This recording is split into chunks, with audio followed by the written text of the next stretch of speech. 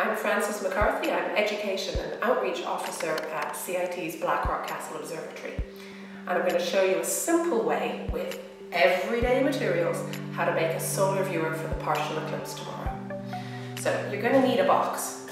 The longer the box, the better. This is one I had lying around. If you have a cereal box, that will work fine.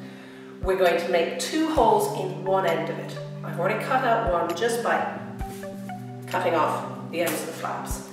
And one we'll cover up with a little bit of foil.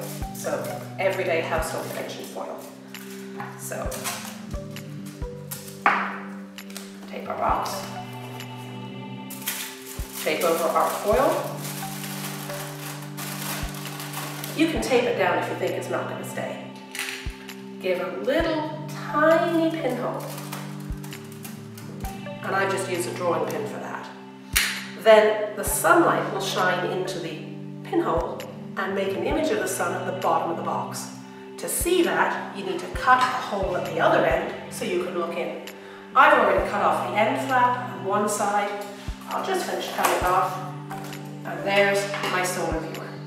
To use it, aim the pinhole at the sun behind you and look into the shadowed box you should see the sun having a bite taken out of it.